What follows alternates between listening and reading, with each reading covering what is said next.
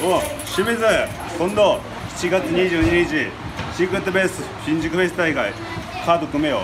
なんかな大阪からなイデアと鎌倉と相川と試合組まれてんのになんで俺試合組まれてないねん。